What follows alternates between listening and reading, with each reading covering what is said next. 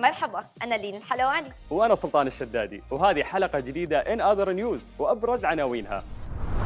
جائزة للمملكة العربية السعودية في Paris Design Award Top artist و top song ل Billboard chart Arabia لهذا الأسبوع في حلقة الليلة.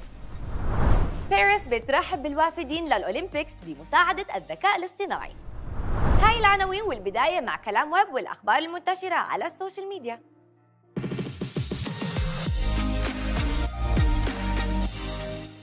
مواضيع كثيرة كانت ترند للساعات الماضية ولكن الموضوع ال top trend هو فوز المملكة بجائزة Better Future Paris Design Awards الفرنسية. فبعد النجاح الكبير اللي حققه معرض الأسبوع السعودي الدولي للحرف اليدوية بنان واللي أقيم في مدينة الرياض يونيو الماضي أعلنت جوائز باريس للتصميم Better Future Paris Design Awards عن فوز هيئة التراث بإحدى جوائزها لعام 2024 خبر جدا سعيد وفعلا هذا الشيء مستحق. فالمعرض تميز بالتصاميم المبتكرة والمستوحاة من التراث الثقافي في المملكة العربية السعودية ولاقى أيضا إقبال وتفاعل كبير من العاملين والمهتمين في مجال الحرف اليدوية بمشاركة عربية ودولية واسعة.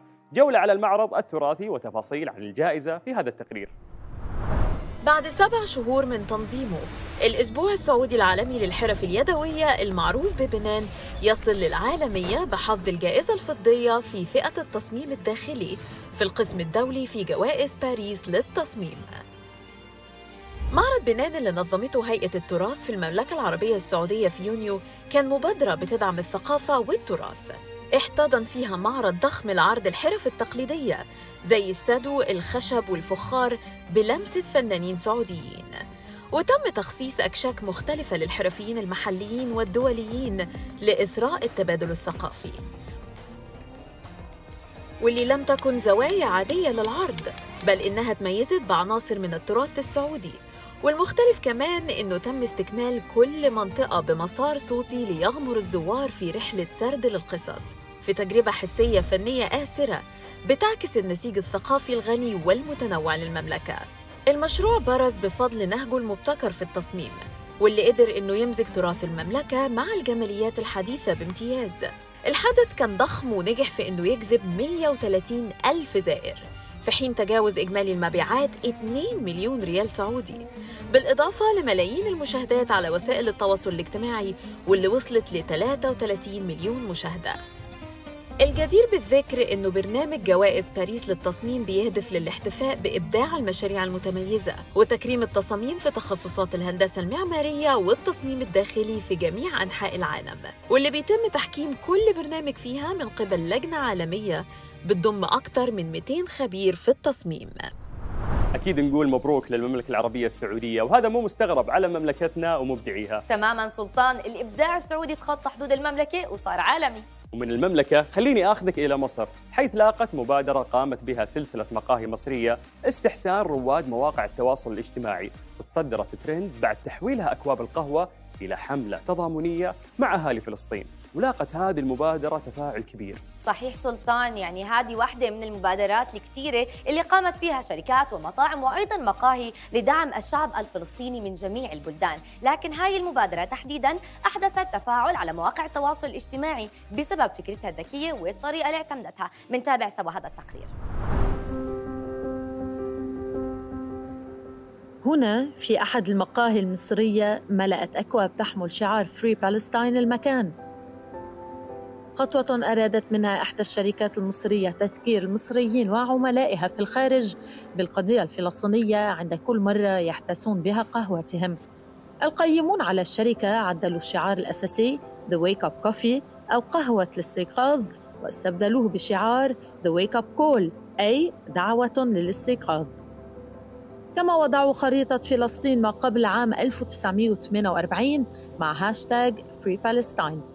هذه الأكواب باتت متوفرة في 55 فرعاً في جميع أنحاء مصر حيث يتم التبرع بنسبة 20% من المبيعات للقطاع المنكوب عبر الهلال الأحمر. الشركة أنتجت في منتصف أكتوبر الماضي 73 ألف كوب ونفذت في غضون شهر واحد فقط. ثم أنتجت 85 ألف كوب في ديسمبر وتتوقع أن تصل مبيعاتها الشهر الجاري إلى 100 ألف كوب. في الواقع يحاول المصريون بشتى الطرق دعم سكان القطاع المدمر. فشركة أخرى أرادت أيضا دعم الغزاويين فأنتجت وسادات تحمل تصاميم مبتكرة للكوفية الفلسطينية وقررت التبرع ب 80% من سعر كل وسادة لجمعية إغاثة أطفال فلسطين. الشركة حققت أرباحا خيالية وفي غضون 40 يوما باعت أكثر من ألف قطعة. من أخبار الترند ننتقل إلى فقرة In Other Stories.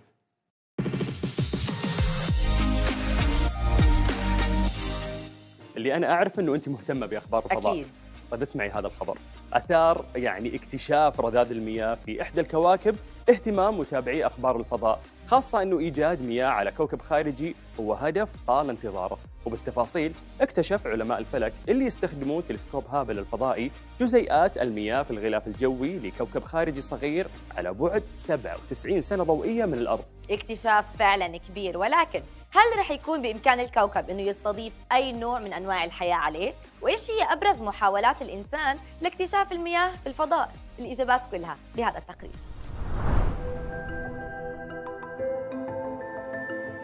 هل من حياة خارج الأرض؟ سؤال دفع العلماء إلى البحث الدائم عن المياه، إحدى المتطلبات الأساسية للحياة.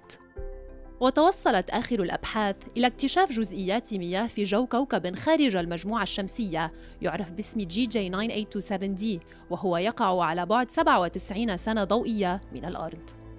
هذا الكوكب يعادل ضعف حجم الأرض حاملاً لقب أصغر كوكب خارجي اكتشف حتى اليوم محتوياً على بخار المياه في غلافه الجوي فهل هذا الشيء يسمح بأن يكون مكاناً مؤهلاً للحياة؟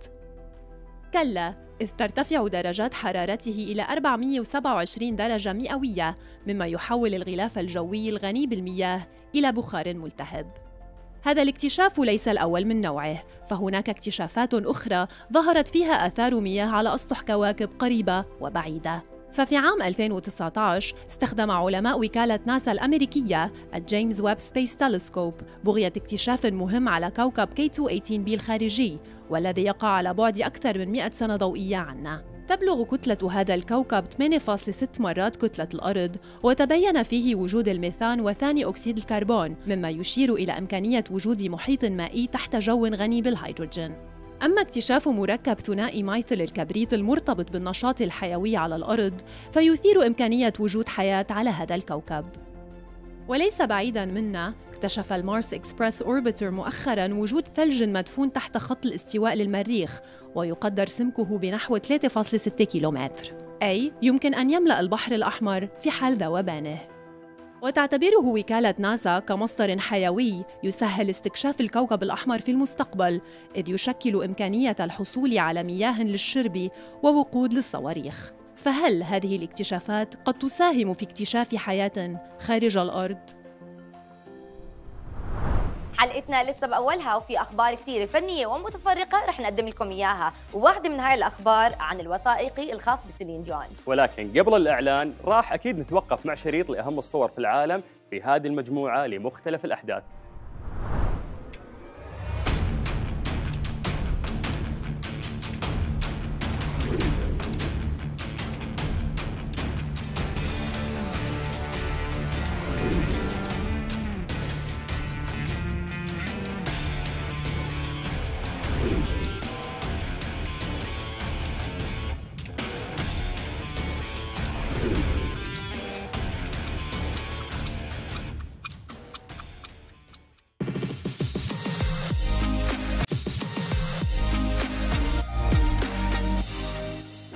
نتابع حلقة الليلة من الخبر الآخر وإلى أخبار المشاهير وال Hollywood gossips في تحت الأضواء.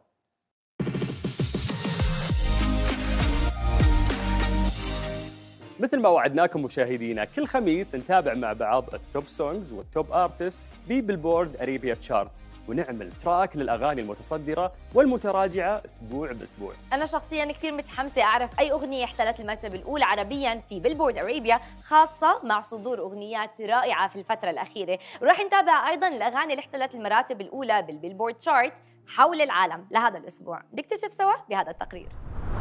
ضمن قوائم بيلبورد عربية Hot 100 الأسبوع ده بالمرتبة العشرة بتراجع مرتبة عن الأسبوع الماضي سيلافي للشاب خالد. وبتقدم ملحوظ من المرتبة 18 للمرتبة التاسعة. بتتقدم أصالة بأغنية فوق. فوق فوق بقى وخليك بالمرتبة الثامنة يا ليل ويا العين للشامي بتتقدم من المرتبة العاشرة الأسبوع الماضي. يا ليل ويا العين من بعدك عمر ما هوينا. وشيرين بتسيطر على ثلاث مراتب متتالية على البيلبورد الأسبوع ده. بالمرتبة السابعة تراجع مرتبة لشيرين عبد الوهاب للوتر الحساس. بالمرتبة السادسة تراجع لكلام عينيه كلام عيني في الغرام أحلى من الأغاني. بالمرتبة الخامسة صبري قليل لشيرين عبد الوهاب بتحافظ على موقعها. بالمرتبة الرابعة قولي متى لسعد لمجرد بتتراجع من المرتبة الثالثة.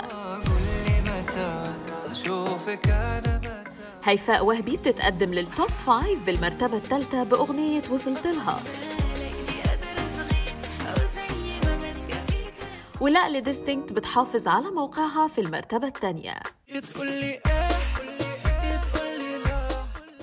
وللأسبوع الثاني على التوالي تامر عاشور بيحتل المركز الأول مع أغنية هيجيلي موجوع. هيجيلي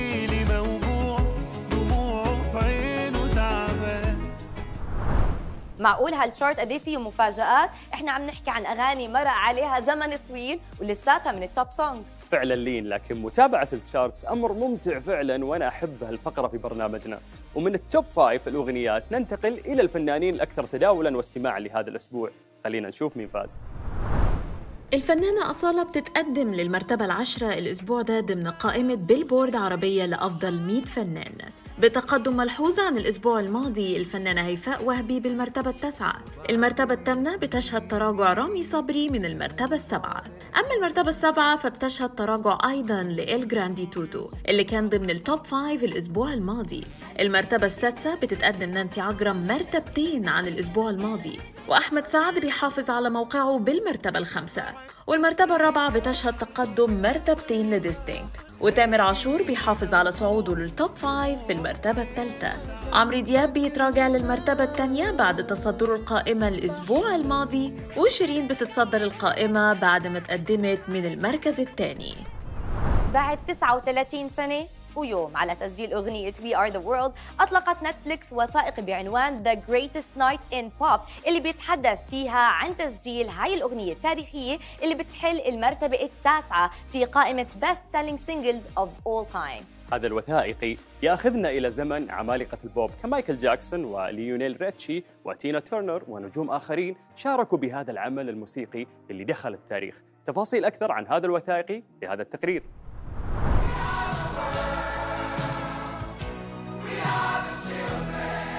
الليلة الأعظم في تاريخ موسيقى البوب. بهذه العبارات يتم وصف الليلة التي تم فيها تسجيل واحدة من أهم الأغاني في التاريخ وهي We Are The World أو نحن العالم. وبعد 39 سنة تقريبا على تسجيل الأغنية تعرض منصة نتفليكس فيلما وثائقيا عن تلك الليلة المميزة. Bob Dylan, Stevie Wonder, Paul Simon, Cindy Lauper, Bette Midler, Billy Joel, Steve Perry, Willie Nelson. التي تم فيها جمع أبرز نجوم الغناء العالميين في الولايات المتحدة ليغنوا جميعا تحت راية واحدة وهي جمع الأموال بغية مكافحة المجاعة في القارة الإفريقية وتحديدا إثيوبيا. الأغنية كتبها مايكل جاكسون ولايونيل ريتشي وقام بإنتاجها كوينسي جونز. كما شارك فيها أسماء عدة منها ديانا روس، ستيفي وندر، تينا تيرنر، بروس سبرينغستين وغيرهم. الجميع اجتمع في استوديو A&M آنذاك بعد حفل ال American Music Awards في 22 كانون الثاني من العام 1985 وبعد طرح الأغنية في 7 مارس أذار شكلت حدثا تاريخيا في صناعة الموسيقى الأمريكية في ذلك الوقت. مع مبيعات. تجاوزت العشرين مليون نسخة. الفيلم الوثائقي يعرض كل الصور والفيديوهات الحصرية من أرشيف تلك الليلة. بدأ التحضير له منتصف العام 2020 وإضافة لعرض كواليس ليلة التصوير يتناول مواقف طريفة حدثت مع النجوم. فليونيل ريتشي أخبر مثلا كيف أن ملك البوب الراحل مايكل جاكسون قرر ممازحته عندما كان يكتبان الأغنية وأطلق سراح الثعبان الموجود في منزله لمفاجأته وتخويفه. وفعلا نجح بذلك. ووثائقي آخر طال انتظاره رح يشوف النور عن قريب بعنوان I am Celine Dion. محبي النجمة العالمية بانتظار هذا الوثائقي اللي بيوثق رحلة علاج ديون ومعاناتها مع هالمرض العصبي النادر اللي أصابها وأبعدها عن جمهورها وعن الفن لفترة طويلة. هذا الوثائقي اللي راح تطلقه أمازون MGM هدفه نشر الوعي والتثقيف حول متلازمة الشخص المتيبس وهو الاضطراب العصبي اللي تم تشخيص المغنية العالمية به. المشرفين على الوثائقي وصفوه برسالة حب عاطفية وشاعرية وحيوية إلى الموسيقى وراح ينقل محبي ديون إلى مراحل حميمة من حياتها يعني العمل أكيد مؤثر جدا خاصة أنه تأثير المرض عليها كان قوي وأبعدها عن الفن قسرا فعلا يعني ديون كانت في عز عطائها وبفترة النضج الذهبي لنجمة كبيرة مثلها. نتمنى لها أنها ترجع لجمهورها بصحة وعافية. إن شاء الله. ومن الأخبار الفنية ننتقل إلى الأخبار الرياضية في فقرة سكور.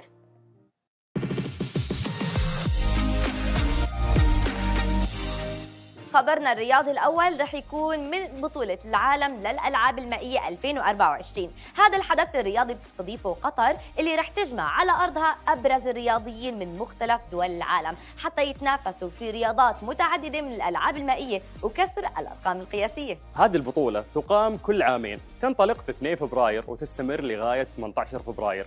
الرياضيين وبحسب فئاتهم راح يتوزعون على المسابح الرياضية عشان يتنافسون فيما بينهم. تفاصيل أكثر عن بطولة فينا في هذا التقرير.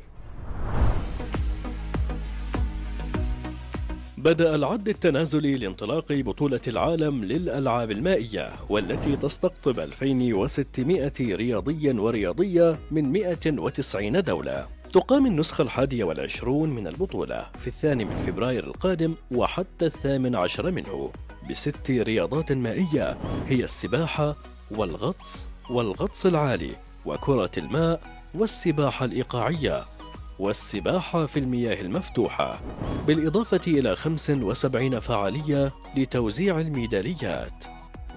ستجرى المنافسات في ثلاثة مواقع أيقونية هي قبة أسباير وميناء الدوحة القديم ومجمع حمد للرياضات المائية.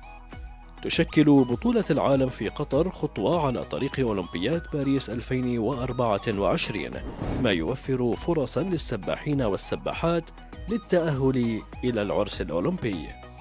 وقد نظمت البطولة لأول مرة عام 1973 بهدف تطوير الألعاب المائية وترويجها حول العالم.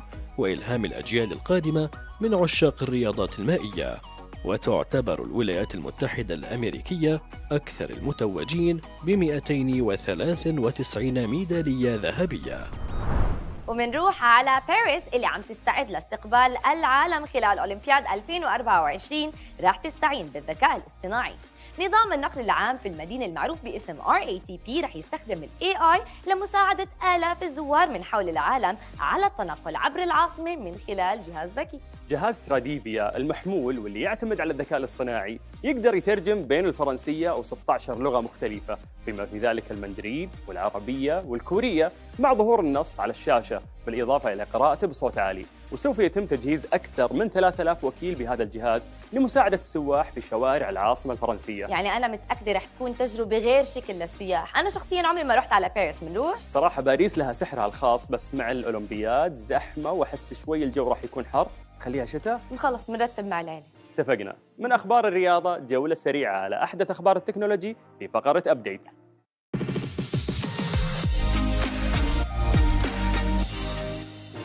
والله شكله يا سلطان سنة 2024 وجهها مش خير على شركة أبل. فمع انطلاقة السنة صعوبات ومشاكل كثيرة عم بتلاحق هالشركة. 100% وهذا الشيء اللي إحنا قاعدين نشوفه. فشركة آبل أمام تحديات كبيرة قاعدة تأثر سلبا على مبيعاتها وقاعدة تسعى الشركة جاهدة عشان تتخلص منها. فخلونا نتابع أبرز الصعوبات اللي تواجهها آبل في هذا التقرير. بدءا من المنافسة الشرسة وانخفاض المبيعات وصولا إلى القضايا القانونية. هذه هي أكبر التحديات التي تواجه شركة أبل هذا العام. فالسوق الصيني وهو ثاني أكبر اقتصاد في العالم أصبح منافسا شرسا لشركة أبل. فوفقا لتقرير رويترز انخفضت مبيعات الآيفون في الصين بنسبة 30% بسبب المنافسة المتزايدة من شركة هواوي بعد إصدارها الهاتف الذكي Mate 60 Pro. واجهت أبل هذه الصدمة بتخفيض أسعار الآيفون وغيرها من المنتجات في الصين بما يصل إلى 70 دولار. ولم ينتهي الأمر عند ذلك فتقرير قائمة فوربس تضمن ارتفاع القيمة السوقية لشركة مايكروسوفت لتقترب من شركة أبل التي تصل إلى 2894 تريليون دولار. وفسر الخبراء هذا الأمر للجهد المستمر لشركة مايكروسوفت الذي تقوم به في مجال الذكاء الاصطناعي التوليدي.